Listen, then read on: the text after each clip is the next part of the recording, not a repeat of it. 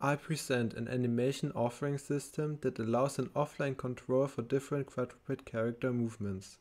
Therefore, I continue the recent work on a novel data-driven method for quadruped motion synthesis called mode-adaptive neural networks.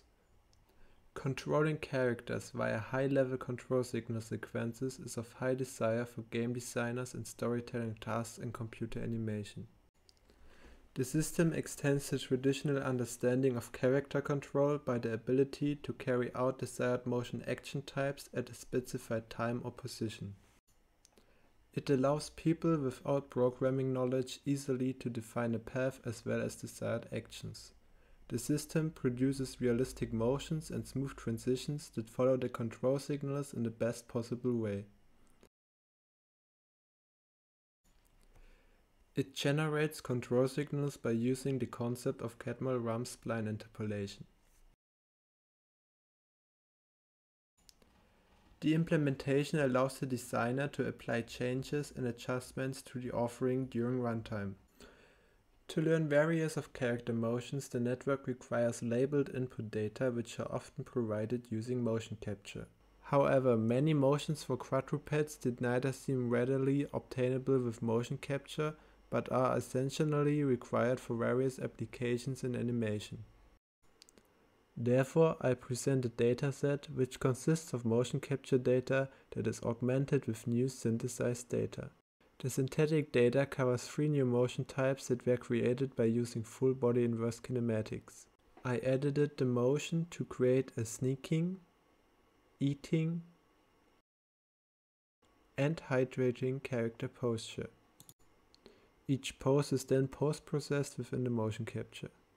The motion data includes now 9 different action types that are idle, move, jump, sit, lie, stand, sneak, eat and hydrate. In addition, I trained contact labels for the feet in the network's output that are used to reduce foot sliding artifacts during runtime.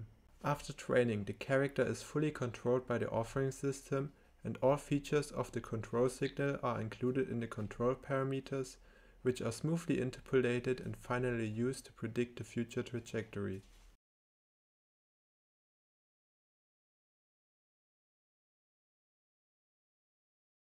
Non-locomotion styles can be launched by a user-defined motion time that specifies a certain time to remain at a state. The network is capable of learning a nonlinear function that can request the missing motion frames as well as to transform the synthetic movements into a more realistic motion.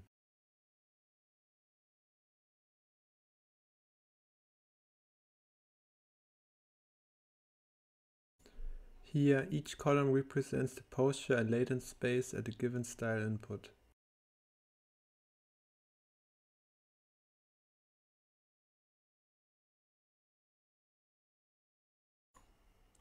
In summary, I proposed an authoring system for real-time quadruped animations learned by a mode-adaptive neural network. Given a set of user-defined control points, the system can generate control signals in form of trajectories that follow the path smoothly and tightly. The system is available as implementation for Unity and can be used for designers to create nature-looking motion patterns in games as well as for the creation of film sequences.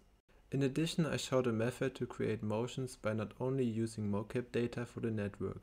The data augmentation enhances the quality of the synthetic data when trained jointly with the motion capture data, especially during transition movements that were not captured.